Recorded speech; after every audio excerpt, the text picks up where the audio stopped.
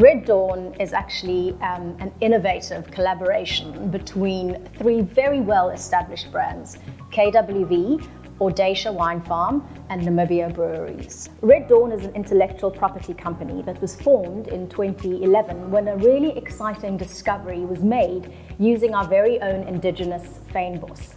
We found that this had an amazing impact on wine that was hugely positive and highly beneficial. So much so that we patented this process in over 50 countries. Red Dawn is set to change the face of industry, specifically the wine industry. It changes the whole way that wine is made. It is set to enhance, protect, and preserve wine. Not only that, but we see us as having a huge impact on the entire value chain. So, all the way through from farm gate through to manufacturing, through to end consumer, people really are looking for healthier alternatives. They are looking for other options. And Red Dawn, we believe that we can deliver this to both the consumer and make a huge difference to wine producers. 2012 was, was our biggest learning curve. And then 2013 was our first commercial wine. And ever since, every year since we've been using it, we've learned something from the previous year um, to, to to make the product better or to, to, to better on the previous year? The, the Earth Essence range um, is, is comprised of a, a Chenin Blanc and a, and a Shiraz. And, and, basically what we've done is that we've identified the areas where traditionally you would use sulfur to, to protect the wine as preservation and against oxidation. And we're basically substituting it with uh, this honeybush tannin.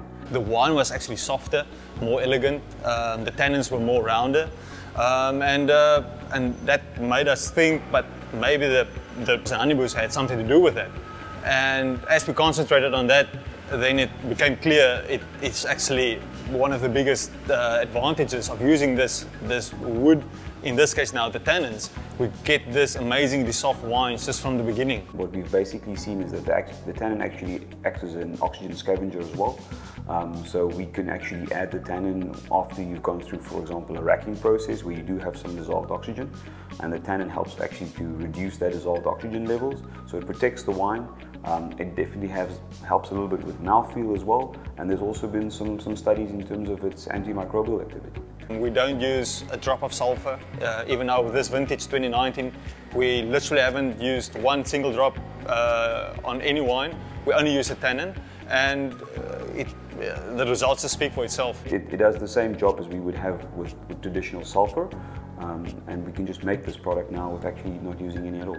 Um, we've been using it now for eight years um, and we haven't had one bottle, one tank that's been uh, oxidized or off um, and is still going perfectly. So I'm very comfortable by using it and, um, and positive going forward. We've done some stability trials on the wines and the actual ageability of the wine and how stable it is and uh, we're very, very happy. After years of learnings and developments, we've now refined the honeybush plant material into fully dissolvable wine tannin. Uh, this wine tannin has extremely high antioxidant capacity and polyphenol levels. Uh, and also through the production of several, well, dozens of trial wines, uh, we found that it not only preserves wine, but it also imparts added benefits such as a better mouthfeel, improved freshness and fruitiness. Honeybush plants are indigenous to South Africa. It also enjoys uh, geographical indicator status, similar to champagne, which can only be produced in the region of Champagne. Honeybush can only be called honeybush if it's grown in South Africa. It grows all the way from down the coast from Eiserfontein to Port Elizabeth. Uh, it's a unique plant with incredible attributes, especially health benefits. We have found that honeybush is far more effective as a preservative in wine than rooibos. We therefore moved towards uh, developing a fully dissolvable wine tannin made from honeybush, which is now branded RDNT Genesis. Trevor asked me uh, to do a few tests on, on, on the product.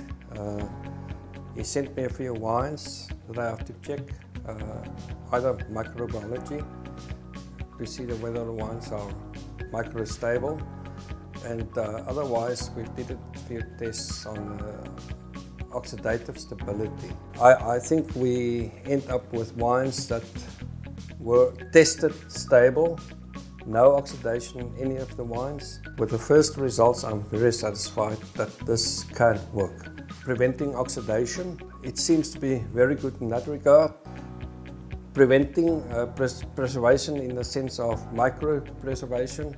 Uh, as I said, you have to manage the microbes in the wine correctly. Uh, I cannot say whether this will inhibit growth of bacteria, but if your wine started off clean, it will definitely stay clean. You can use it with SO2, but it seems to be working without SO2 if you manage the wines correctly. My name is Trevor Strydom. I'm actually the owner of Audacia Wine Farm. I've been involved in the wine industry for 23 years and involved with the Red Dawn team for the last eight years. And it's been a wonderful experience working with them and seeing all the development in terms of where we started to using indigenous material to produce a unique tannin, which finally we can share with the wine industry and enable people to make wine in a unique and different way, enabling people to actually enhance, protect, and preserve wine. And in my case, we've changed totally to making no sulfur added wine. So that's what Audacia is now becoming known for, and it's a unique differentiator for us. For other people, it'll be different things, but I'm really privileged to have experienced uh, what we've gone through over the last nine years. This very important day for innovation, specifically in the wine industry. Uh, but innovation in our economy and innovation that uh, has been taking place uh, for quite a while. I met Trevor uh, six, seven years ago when he started to look at uh, how this specifically fynbos and indigenous plant material could make a difference uh, in the wine industry specifically. There's opportunity for that. This innovation could be a big game changer across the whole uh, of our economy and food chain. For me personally, it is uh, something that I've watched very closely.